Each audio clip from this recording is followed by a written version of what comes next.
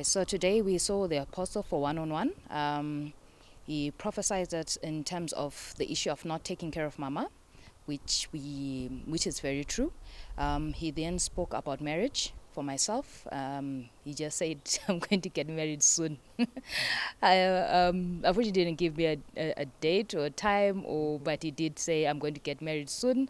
Um, he did say I I love mama a lot, which I really do, and yeah, I do my best to take care of her. So the issue is, as siblings, we are not chipping in um, the way we're supposed to. We might have an issue whereby we need to do something for mama, but uh, we might have one or two siblings then chipping in. Then the others will probably give excuses. I'm doing ABC, or I don't have money at the moment, and that's it.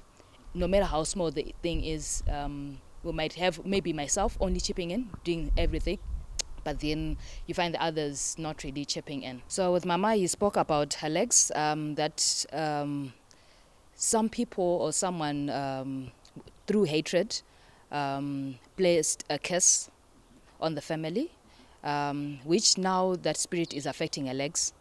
Uh, she went to the doctor and she was told she has arthritis, but that's not the case. That's the spirit that wants her to be very, very sick so that she won't be able to see the blessings of her children she'll probably die an early death and won't be able to experience all that she has to be experienced before she dies a timely death. Um, the servant of God has declared that Mama will live to see the blessings of her children.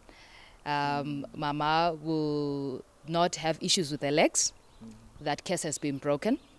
Um, I'm going to get married soon, hopefully very soon. Um, Mama will enjoy life. After meeting the servant of God, I'm healed. I was healed yesterday. Today it was a double blow. I'm healed, and this the man of God really is helping people. I would encourage people to pray, um, seek guidance from men of God. Um, depending on which church you go, God is everywhere. So seek guidance, pray, read the Bible, um, seek for God's uh, spirit of discernment to see what you're supposed to do. Um, let the will of God happen in your life. I can encourage people who are in my situation to pray, to seek the face of God, to know that God is the only person whom we can run to. Those words might be coming when I'm lifting up my Hey, hey, when, hey. Leave it. Leave it. Spirit. Come on. Spirit of failure. Spirit of failure. Spirit of failure.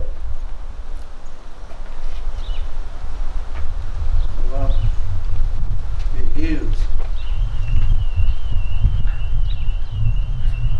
Jesus. Demon, leave it. Open your eyes, look here. Now, sister, look here in Jesus' name.